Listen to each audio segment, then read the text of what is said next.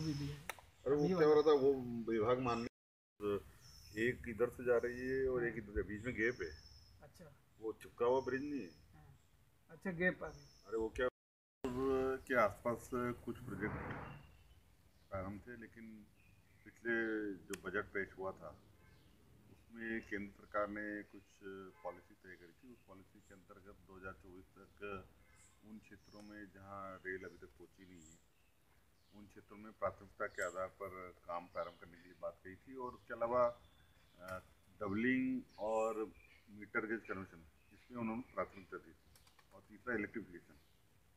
Electrification को लेकर हमारे यहाँ इंदौर से लेकर जो उज्जैन उज्जैन तक, उज्जैन के आगे इलेक्ट्रिफिकेशन है हमारा, उसका काम लगभग पूर्णता की ओर रही पर जो खास था कि इंदौर से लेके उज्जैन उज्जैन के बाद डबलिंग है के सामने प्रेजेंटेशन हुआ। क्या क्या स्थिति है और किस निर्णायक स्थिति में पहुँचे हैं हम? देखिए, हम सबकी मंशा ये है कि जो बंगाली चौराहे पर जो ब्रिज का काम है, वह चौराहे को छोड़ के बाकी लगभग पूरा हुआ। हम सबकी मंशा ये है कि जो बीच में जो जंक्शन आ रहा है, उसमें यातायात स्मूथ हो और इस यातायात सुगम होने से एक्सीडेंट भी कम होगा और उस बात को लेकर हमने माननीय मंत्री जी, लोक निर्माण विभाग गोपाल भार्गव जी से बात की थी। हमारे साथ हमारे श्रीराम सिलौट जी, कैबिनेट मंत्री मध्य शासन हमारे क्षेत्र के विधायक आदरणीय महेंद्र आड़िया जी, मधु वर्मा जी, ये सब लोग थे।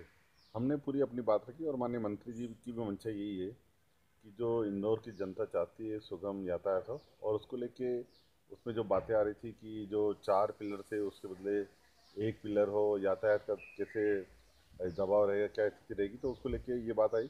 कि हम आईआईटी से इसका पूरा सर्वे कराएँ और आईआईटी के मार्गदर्शन में फिर आगे डिज़ाइन भी बने और उसमें काम हो।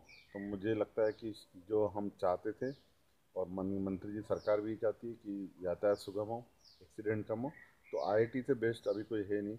उनका जो ऑब्जर्वेशन आएगा, उस हिसाब से हम आगे बढ़ेंगे। कितने